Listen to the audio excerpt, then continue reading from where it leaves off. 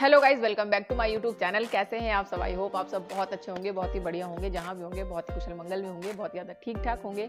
तो मैं भी बहुत ही ठीक हूँ और मेरा नाम है संजलि भारद्वाज। तो गाइज़ आज की वीडियो तो बहुत ही, बहुत ज़्यादा कमाल की होने वाली है, बहुत ही अच्छी होने वाली है। तो आप ज़रूर मेरे साथ एंड तक बने रहना, क्योंकि आज आपको शेयर कराने वाली हूँ मैं ढाका, मावा और एक्सप्रेस वे और प्लस पद्मा ब्रिज जो है ना यार, जो सबसे ज़्यादा फ़ेमस हो रखा है। अभी बांग्लादेश में बहुत ज़्यादा इसकी वीडियो और क्योंकि सच में उसका नज़ारा ही कुछ अजीब सा है मतलब कुछ अलग सा ही हट कर हट कर है। तो हर कोई उसको देखना चाह रहा है, हर कोई उसकी वीडियो बनाना चाह रहा है। तो बिल्कुल आज वही वीडियो है तो आप मेरे साथ एंड तक ज़रूर बने रहना। तो चलिए वीडियो को स्टार्ट कर देते हैं और स्टार्ट करने से पहले अगर आपने मेरे चैनल को अभी तक सब्सक्राइब नहीं करा है तो जल्दी से सब्सक्राइब कर दें और उसके बगल में ही बेल आइकन का निशान है, उसे प्रेस करके ऑल पर ज़रूर क्लिक करना ताकि मेरी आने वाली वीडियो का नोटिफिकेशन आपके पास जल्द से जल्द पहुँच जाए। तो लेट्स स्टार्ट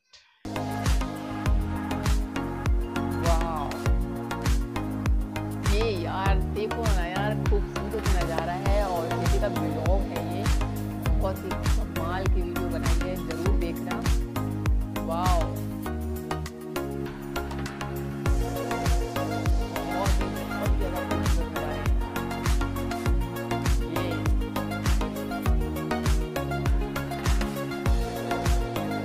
আসসালামু আলাইকুম, কেমন আছেন সবাই? আশা করছি আপনারা সকলে ভালো আছেন।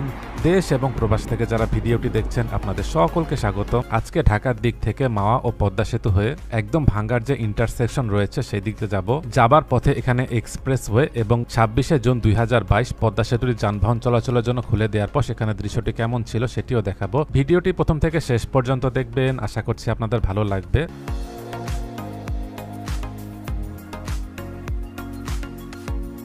যাত্রাবাড়ির দিক থেকে মাওয়া ভাঙ্গা পর্যন্ত এক্সপ্রেসওয়ের পুরো অংশে দুটি ইন্টারচেঞ্জ রয়েছে। একটি হচ্ছে তেঘরিয়া ইন্টারচেঞ্জ আর একটি হচ্ছে ভাঙ্গা ইন্টারচেঞ্জ। সামনের দিকে এটি হচ্ছে তেঘরিয়া ইন্টারচেঞ্জ, এটি হচ্ছে কেরানীগঞ্জে। এখানে সামনের দিকটি চলে গেল যাত্রাবাড়ি, বাম দিকের এই অংশটি চলে গেল বাবুবাজার ব্রিজের দিকে, আর পিছনের এই দিকটি চলে গেল মাওয়া পদ্মা সেতুর দিকে।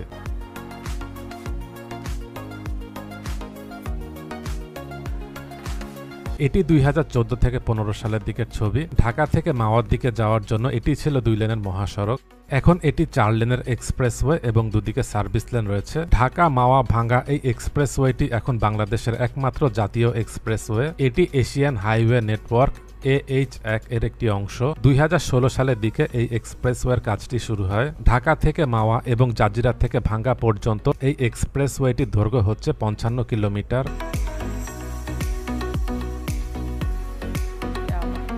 এবার চলে এসেছি কুচিয়া মোড়ার দিকে। আমি যে জায়গাটিতে দাঁড়িয়ে আছি, এই জায়গাটিতে একটি আন্ডারপাস আর সামনের দিকেই হচ্ছে একটি ফ্লাইওভার আগে যখন এখানে এক্সপ্রেসওয়ের জন্য কাজ চলছিল, তখন এটি হচ্ছে পাশের সড়ক। পাশের সড়কটি এরকম ভাঙাচোরা ছিল। কুচিয়া মোড়ার দিকে দাঁড়িয়ে যে ভিডিও একটু আগে দেখিয়েছিলাম, এটি হচ্ছে সেই জায়গাটি। এটি হচ্ছে চার মে দুই হাজার উনিশ সালে যখন এখানে ভিডিও করতে এসেছিলাম, তখন সেটির দৃশ্য।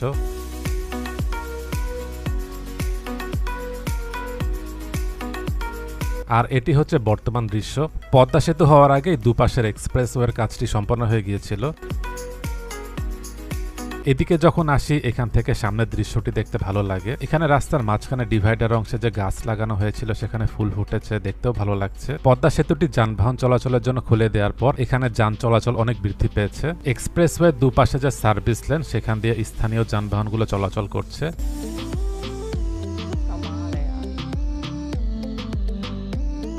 এবার এখান থেকে চলে যাব পদ্মা সেতু হয়ে জাজিরার প্রান্তে। তারপর সেখান থেকে ভাঙ্গা যে ইন্টারসেকশন রয়েছে, সেই জায়গাটিতে চলে যাব।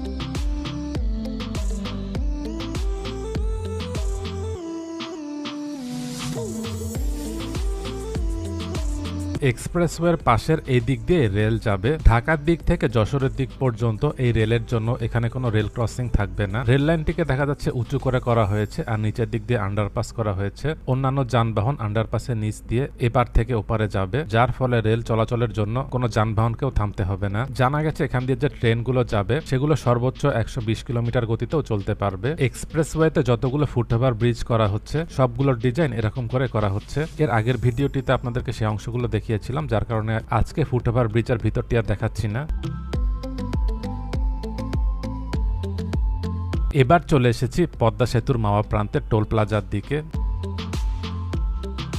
টোল দিয়ে এবার সামনের দিকে যাচ্ছি। প্রাইভেট কারের জন্য এখানে টোল হচ্ছে সাতশো পঞ্চাশ টাকা। পদ্মা সেতুটি পার হয়ে ওপারের দিকে যাচ্ছি। আলহামদুলিল্লাহ খুব ভালো লাগছে। পদ্মা সেতু যেদিন যানবাহন চলাচলের জন্য খুলে দেওয়া হয়, সেদিনই সেতু দিয়ে প্রথম মাওয়ার দিক থেকে জাজিরার প্রান্তে গিয়েছিলাম। সেতুতে উঠার আগে সামনের দিকে যে নীল স্প্যান দেখা যাচ্ছে, সেখান দিয়ে হচ্ছে রেল যাবে।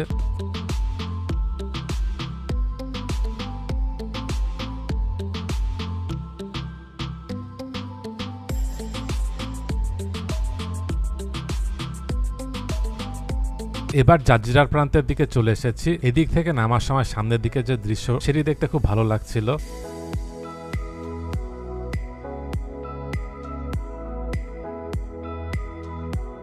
এদিকে আসার পথে দেখতে পেয়েছি সেতুতে উঠা এবং নামার দুপারের অংশে অনেক গাছ লাগানো হয়েছে দেখে ভালো লাগল।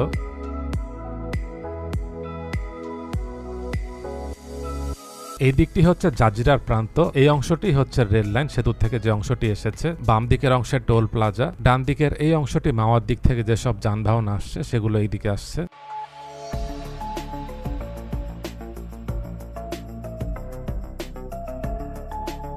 আগে ফেরি দিয়ে সেতুটির এপার থেকে ওপারে যাওয়াটা অনেক সময়ের ব্যাপার ছিল, আর আবহাওয়া খারাপ থাকলে তো সেই সময়টি আরও বেড়ে যেত। এছাড়াও ঈদ এবং অন্যান্য সময় যানবাহনের যখন অনেক চাপ থাকে, তখন পদ্মা নদীর এপার থেকে ওপার পার হওয়াটা অনেক ভোগান্তির ছিল। এখন খুব অল্প সময় সেতুটির মাধ্যমে এপার থেকে ওপারে পার হওয়া যাচ্ছে।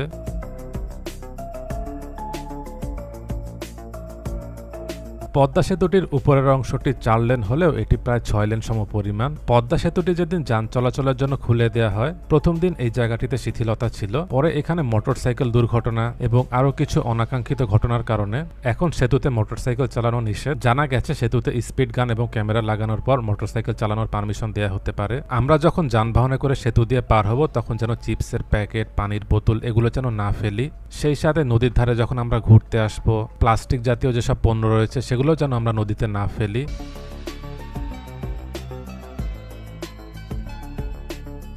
জাজিরার প্রান্তে পদ্মা সেতু নিচের অংশেও এখানে উৎসবমুখর পরিবেশ বিরাজ করছে। মাওয়া প্রান্তের দিক থেকে জাজিরার প্রান্তে যানবাহনগুলো এসে নামছে, দেখতেও ভালো লাগছে। পদ্মা সেতুর দুপারের অংশে এলিভেটেড রেল থাকছে। মানে ট্রেনগুলো উপর দিক দিয়ে যাবে, যেমনটি আমরা মেট্রো রেলে দেখেছিলাম। জাজিরার প্রান্তে টোল প্লাজাটি পার হয়ে একটু সামনের দিকে চলে আসলাম। জাজিরার দিক থেকে ভাঙ্গা পর্যন্ত যে এক্সপ্রেসওয়ে সেটি এখান থেকে শুরু হয়েছে।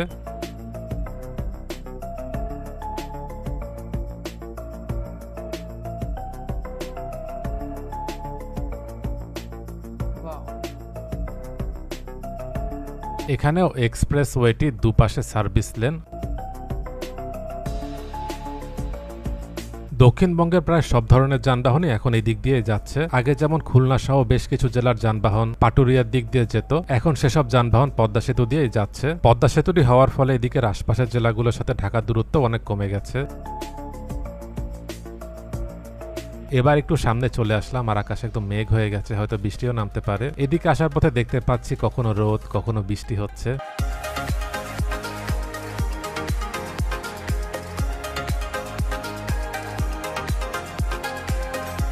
এবার যত সামনের দিকে যাচ্ছি, তত দেখতে পাচ্ছি আকাশ পরিষ্কার হয়ে যাচ্ছে।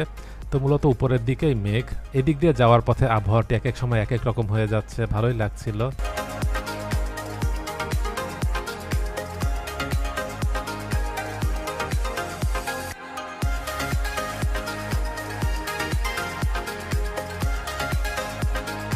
এবার একটু সামনে চলে আসলাম আর মেঘের যে ছায়া সেটিও চলে যাচ্ছে। এখানে সড়কের দুপাশে একদম সবুজ হয়ে আছে, তো দেখতেও খুব ভালো লাগছে। আপনারা যারা ভিডিওটি দেখছেন, আশা করছি আপনাদেরও ভালো লাগছে।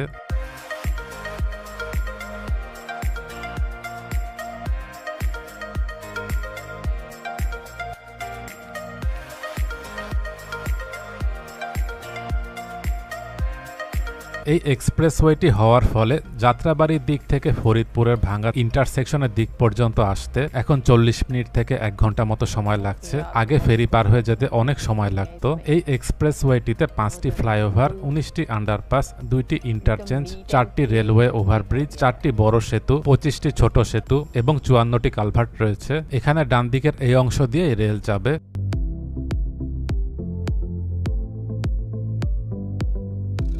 সামনের দিকে আরিয়াল খা সেতু, তার পাশে রেল সেতুর জন্য দেখা যাচ্ছে স্প্যান বসে গেছে।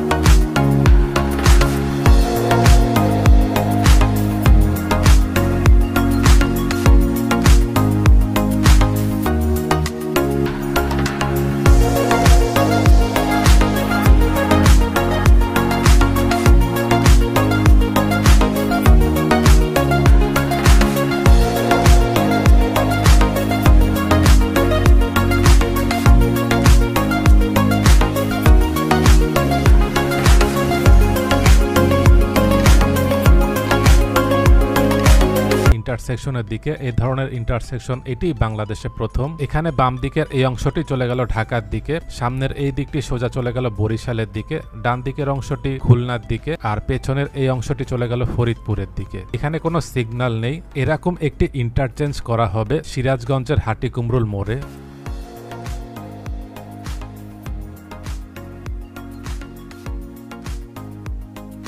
ঢাকা মাওয়া ভাঙ্গা এই এক্সপ্রেসওয়েটি যাত্রাবাড়ির এখান থেকে শুরু হয়ে ভাঙ্গার এই দিকটিতে সে শেষ হয়েছে।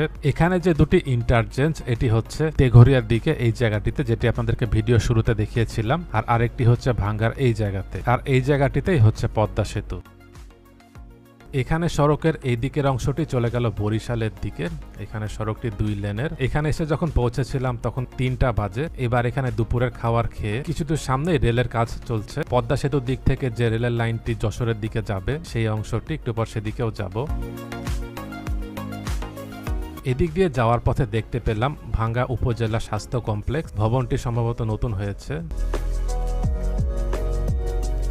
এবার এখানের একটি গ্রামে চলে আসলাম এদিক দিয়ে হচ্ছে রেল লাইনটি যাবে পদ্মা সেতুর দিক থেকে রেল লাইনটি ভাঙ্গার এদিকে এসে দুটি ভাগ হয়ে গেছে একটি চলে গেছে तो फ्रेंड्स यहीं पर वीडियो होती है ख़त्म यार बहुत ही बहुत ही जितना आप उम्मीद भी नहीं रख, रख सकते थे इस वीडियो के साथ उतना इंजॉय करने को मिला है इस वीडियो में बिल्कुल यार नज़र नहीं हट रही थी वीडियो से और बहुत ही अच्छी लगी मुझे तो बहुत ज़्यादा वीडियो तो सच में यार, जैसे वीडियो मतलब ली है ना यार, बहुत ही कमाल के लिए। ढाका की वीडियो और मावा की वीडियो और एक्सप्रेस हाईवे की वीडियो और पद्मा ब्रिज की वीडियो यार, बहुत ही अच्छी और बहुत ही अच्छी भी वीडियो बनाई है।